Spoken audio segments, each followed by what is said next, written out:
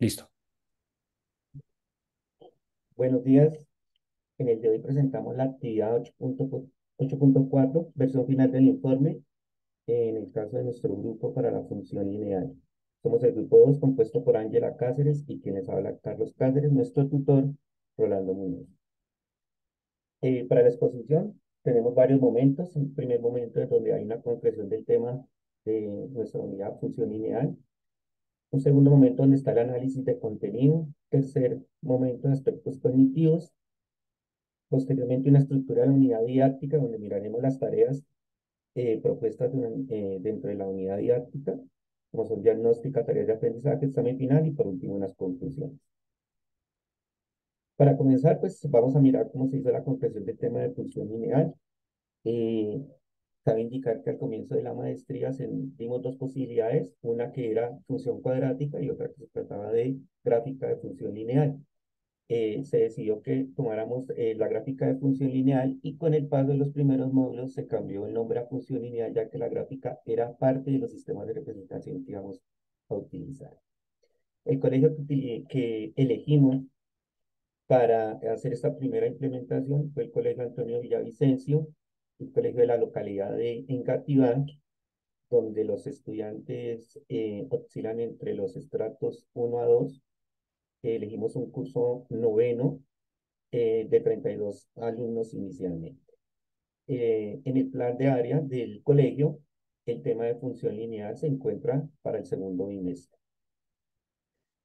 para mirar el marco legal eh, perdón, el currículo, dentro de los currículos estatales, donde está eh, eh, esto de función lineal, este tema, miramos los estándares básicos, los derechos básicos de aprendizaje y el marco conceptual PISA 2002. Dentro de los estándares básicos de competencias, vemos que en el pensamiento variacional y sistemas algebraicos que están para grado octavo noveno se encuentra nuestro tema. Como ejemplo, por ejemplo, está construye expresiones algebraicas equivalentes a una expresión algebraica verbal dada o modelar situaciones de variación con funciones polinomiales. Entonces, parte de los estándares está relacionado. Dentro de los derechos básicos de aprendizaje en matemáticas está en el DBA 2, que dice que propone y desarrolla expresiones algebraicas en el conjunto de los números reales y utiliza propiedades de la igualdad y de orden para determinar el conjunto solución de relaciones entre tales expresiones. Están para grado noveno, y en su descripción se encuentra que determina y describe relaciones al comparar características de gráficas expresiones algebraicas o funciones. Es decir, el tema también se encuentra dentro de los derechos básicos. Y en el documento mm, del marco teórico PISA 2012, eh, vemos que se encuentra en la categoría de cambios y relaciones, eh, en, la, eh, en los contenidos de ecuaciones y desigualdades. En la descripción nos dice que, hay, que se encuentran ecuaciones lineales y afines y desigualdades. Entonces, dentro de esos eh, documentos, esos currículos eh, eh, estatales, el, tema de función lineal está dado. nosotros miramos con Ángela que para la profesión de nuestro tema debemos darle mucha importancia, ya que hace una modelación de situaciones en contexto tanto de la proporcionalidad directa como de otros conceptos para los alumnos, pues es claro que si va a un trabajo, tiene un valor de una hora extra y va a trabajar tantas horas extras, pues él puede hacer un cálculo ahí que implícitamente está manejando eh, eh, la función lineal eh, relacionada con la proporcionalidad directa. Entonces vemos que hacia el futuro sí es de mucha importancia y adicional a otros temas que se verán más adelante por parte de ellos. En el análisis de contenido, ya teniendo todo, todo ese marco ese currículo establecido, empezamos a hacer ya lo que era la estructura matemática del tema de función lineal. Para ello utilizamos cuatro momentos, una estructura matemática de la función lineal, la estructura conceptual de la función lineal, los sistemas de representación que íbamos a utilizar y los fenómenos que dan sentido a la función lineal. Esto lo hicimos en cuatro mapas conceptuales eh, muy bien detallados, en el cual, por ejemplo, en la estructura matemática tratamos de situar nuestro tema de función lineal, dónde estaba relacionado por ejemplo, que es una función polinómica de grado 1 y esa relación directa que tiene con la proporcionalidad directa. Asimismo, la proporcionalidad directa nos da cuatro operaciones básicas que se pueden manejar, eh, eh, digamos, de alguna manera fácil en, en grado noveno, como son suma, resta, multiplicación y. Es decir, pues está todo relacionado en ese, man, eh, en ese gran engranaje que es la matemática. Por otra parte, pues hicimos un análisis de la estructura conceptual de la función lineal, es decir, mirar esos eh, conceptos alrededor de la función lineal que eran necesarios para nosotros dentro de la unidad didáctica. Es así como aquí en este cuadrito que está en relieve, eh, eh, tenemos los, los, que son necesarios y que vamos a utilizar dentro de la unidad didáctica, como son esa dependencia e independencia de variables, el una tabla de valores, que son parejas ordenadas, plano cartesiano y cómo llevar una gráfica al plano cartesiano. En este caso de la gráfica, también lo enlazamos para nuestro segundo objetivo que tenemos en la unidad, eh, relacionado con mm, esas posiciones relativas que tiene una recta en el plano. En el caso de esta función lineal, eh, cuando la pendiente es negativa o positiva, que nos determina si es creciente o decreciente. Asimismo, hicimos un análisis de los sistemas de representación que íbamos a utilizar en un comienzo eh, planteamos eh, seis sistemas de representación, solamente utilizamos el simbólico, numérico, tabular y gráfico.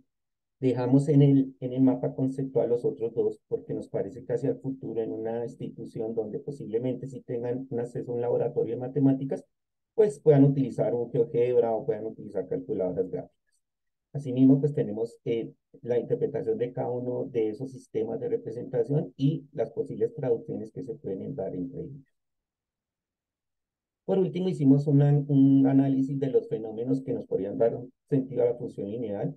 A partir de los documentos, eh, encontramos que podemos tener tres subestructuras, una que es y igual a mx, directamente con, eh, relacionada con proporcionalidad directa, eh, unas dos subestructuras adicionales cuando la pendiente sea positiva, cuando la pendiente sea negativa, que determinan una recta creciente con una recta decreciente. A partir de los contextos PISA 2012, encontramos que estos fenómenos relacionados con estas subestructuras los podemos tener en lo profesional, en lo personal, en lo social o en lo científico. Eh, por ejemplo, en el personal, el que les estaba ah, eh, diciendo hace ratico que ayer el, el total recibió un salario teniendo el valor de la hora y la cantidad de horas trabajadas, y pues en el científico mm, mirar esa direccionalidad de la red. Fueron los dos que más utilizamos, personal y científico, en el caso de nuestra unidad En los aspectos cognitivos, pues eh, hicimos también análisis de esas expectativas de aprendizaje, de tipo afectivo, algunas limitaciones y los criterios de logro y grafos que nos caracterizan eh, en nuestros dos objetivos. Eh, en los aspectos cognitivos, en estas expectativas de aprendizaje, nosotros eh, se encuentran tres procesos matemáticos a, utilizar, que son emplear, eh, formular, interpretar. y nuestra unidad didáctica apunta a todos, particularmente al tema de, eh, al, al, proceso de emplear. Y queremos activar de las siete capacidades, queremos activar seis, o creemos que nuestra unidad didáctica activa seis que son las que están alrededor de emplear. Eh, para la unidad didáctica definimos dos objetivos. Uno, eh, que está encaminado a mm, reconocer esa función lineal a través de distintas representaciones, y un objetivo dos, que está eh, ligado al primero, secuencial, que es determinar la pendiente de una función lineal y relacionarla con esa direccionalidad en un plano cartesiano. También definimos unas expectativas de tipo afectivo que de alguna manera nos miden eh, eh, la motivación de los alumnos a resolver nuestras actividades. Eh, con Ángela definimos tres. Las dos primeras están encaminadas al primer objetivo, la tercera al segundo objetivo. la primera es mostrar el interés al modelar situaciones de proporcionalidad empleando la función lineal. La segunda es tener una disposición para, para traducir la función lineal en los distintos sistemas de representación. Y la tercera que es desarrollar la curiosidad por relacionar la pendiente en los diversos sistemas de representación. También hicimos un análisis de las limitaciones de aprendizaje, eh, siete en total. Eh, aquí, pues, para temas de la exposición, mm, damos un ejemplo de la primera, la cual la definimos como dificultad para transferir una situación de lenguaje verbal al lenguaje algebraico. Eh, que por ejemplo los errores que se pueden incluir en esa dificultad eh, puede ser incluir datos inexistentes o excluir datos existentes en una situación problema. Cada uno de estos errores pues tiene su ayuda correspondiente dentro del documento eh, como ayuda al docente para cuando haga la implementación de la unidad. Por último, aquí tenemos los grafos de criterio que nos caracterizan nuestros dos objetivos. Este primer grafo pues caracteriza el objetivo 1 pues en él se, se detallan eh, los caminos o los posibles caminos que pueden tener mm, los alumnos al desarrollar eh, las actividades, las tareas, según las estrategias que ellos utilicen, pues pueden utilizar diferentes caminos. Entonces, este es el grafo del objetivo 1 y también entregamos el grafo del objetivo 2. A continuación, mi compañera, pues, eh, empezará con la parte del esquema de la unidad didáctica.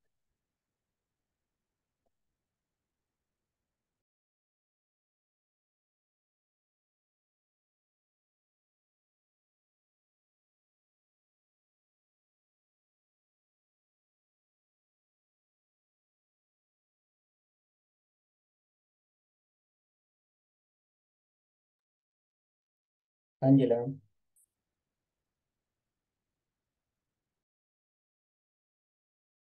Ale. Perfecto, ahí te escuchamos. En cuanto al esquema de la unidad didáctica, como ya se ha mencionado por otros grupos, el esquema es similar a las otras unidades didácticas. Contamos con una tarea diagnóstica, las tareas de aprendizaje del objetivo 1 y las, las tareas de aprendizaje del objetivo 2 y el examen final. En la estructura de nuestra unidad didáctica encontramos que la tarea diagnóstica lo que pretende es brindarnos herramientas de los conocimientos previos con los que cuentan los estudiantes para poder resolver eh, la unidad didáctica o para poder desarrollar la unidad didáctica. ¿Qué requerimos nosotros? Que los estudiantes hagan operaciones con números reales, eh, que puedan plantear situaciones de la vida cotidiana mediante expresiones algebraicas y las puedan resolver, que ubiquen, que reconozcan parejas ordenadas cuando una coordenada es de X y una coordenada es de Y, eh, que reconozcan, em, como había dicho antes, las, las expresiones algebraicas que representan ciertas situaciones, que ubiquen planos, eh, que ubiquen puntos en el plano cartesiano, determinando la distancia entre puntos y que tengan conceptos como elevación y avance cuando se tienen dos, plan, dos puntos en el plano cartesiano. En cuanto a las tareas de aprendizaje para el objetivo 1, recordemos que reconocer la función lineal eh, relacionándola con la proporcionalidad directa desde diferentes mm, representaciones, planteamos tres tareas. Todas estas tres tareas están enmarcadas en un mismo en una, en una misma situación que es el SOFA. El SOFA es un evento que se realiza acá en la ciudad de Bogotá, donde eh, los, las personas pueden ir disfrazadas y eh, se representan diferentes tipos de personajes de, de, de los cómics principalmente. Entonces lo planteamos todo dentro de esa situación para que pues se relacionara con los aspectos, con, lo, con los fenómenos sociales, personales de, de los estudiantes. Este es el ejemplo de la tarea SOFA 1, entonces acá se nos da el precio de la entrada y lo que se busca es que los estudiantes hayan el precio el, del valor total del ingreso si va a un grupo de 2, 6 o 30 personas. Esto lo pueden hacer desde diferentes representaciones. Mostramos el grafo que tenemos planteado para la, para la, la tarea SOFA 1, que serían los procesos y el camino de los procesos que los estudiantes podrían seguir para dar solución a esta situación. El primer camino, pues podemos ver que lo pueden tomar eh, modelándolo desde una tabla y luego realizando la representación gráfica para luego asociarla con la ecuación, eh, con la mm, expresión algebraica y igual a mx y ver que esto es una función lineal. Otro camino puede ser hallando los pares ordenados, hallar la variable dependiente e independiente, escribir la expresión eh, que representa la situación y relacionarla con la función y igual a mx, que es la función lineal. Y otro camino que podría tomar el estudiante es hallar pares ordenados, ubicarla en el plano cartesiano, graficarla, dar la ecuación que representa la situación y relacionarla pues con la función lineal que es igual a y m igual a m. Para el objetivo 2, que hace referencia a la pendiente de una recta, este objetivo está totalmente relacionado con el objetivo 1. Eh, nosotros lo hicimos secuencial, quisimos hacerlo secuencial. Digamos que acá se nos presentó una limitación que fue representar el fenómeno social o personal de la pendiente de la recta debido a que no hay una situación real en la que se pueda tomar la pendiente negativa. Tengamos en cuenta que las distancias en matemáticas son positivas, tengamos en cuenta que eh, específicamente para la función lineal no encontramos un fenómeno que nos ayudara a representar la pendiente negativa. Lo hay de pronto para la función afín, pero para la función lineal específicamente no la encontramos, entonces lo vimos como una limitación y la tarea de aprendizaje para el objetivo 2 pues está enmarcada en un fenómeno científico, es netamente matemático. En esta se le pedía al estudiante graficar eh, las, las, las, las pendientes dadas, ya sea desde la y representarla con y hallar la pendiente, con, ya sea con las ecuaciones eh, que se tienen para esto, y al final relacionar la, la, el valor de la pendiente hallado con la direccionalidad de la recta representada. Lo, lo hacíamos partiendo desde la parte gráfica, lo hacíamos partiendo dándoles una ecuación y lo hacíamos partiendo dándoles puntos en, eh, que se representaban en una tabla. Ya para el examen final, entonces decidimos que el examen final consta de tres eh, puntos o ítems. En estos, eh, los tres primeros evalúan los conocimientos que adquirieron los estudiantes acerca del objetivo 1 y los últimos tres eh, muestran los conocimientos que adquirieron los estudiantes desde el objetivo 2 o para el objetivo 2. Lo que buscamos con estas tareas pues es que los estudiantes en realidad puedan identificar sus aprendizajes y qué fue lo que en realidad les quedó después de desarrollar la unidad didáctica. Como conclusiones, entonces nosotros esperamos haber aportado a que los estudiantes logren representar la función lineal e identificarla desde cualquier representación que se les presente. Asimismo, esperamos que los estudiantes determinen la pendiente y la relacionen con la direccionalidad de la recta. Eh, también concluimos al, al desarrollar la, la, unidad didáctica que al realizar las diferentes agrupaciones entre los estudiantes favorece, se favorece la interacción, la comunicación y el análisis que ellos pueden dar sobre determinado tema.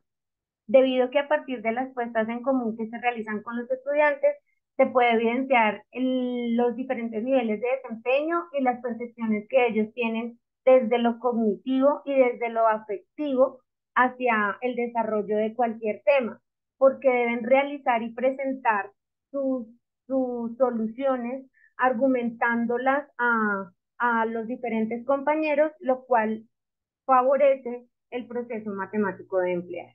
Como lo había mencionado, pues eh, limitaciones que se nos presentaron, concluimos que modelar situaciones desde fenómenos personales o profesionales relacionadas con la pendiente negativa fue una de las limitaciones y pues nos gustaría dejarla abierta como para eh, que a futuro otro, otros compañeros puedan o pudiesen trabajar acerca de este tema.